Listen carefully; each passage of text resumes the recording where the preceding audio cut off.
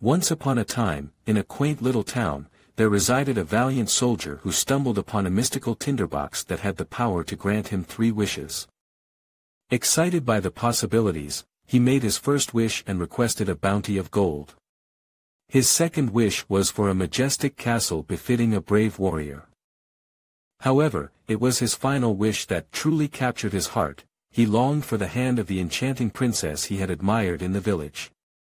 The princess was overjoyed to accept the soldier's proposal, but the king, her father, was furious at the match.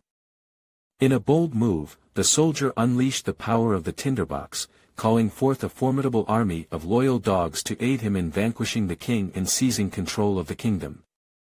With their victory secured, the soldier and his beloved princess reveled in their newfound reign, dwelling blissfully in the grand castle granted by the magical tinderbox.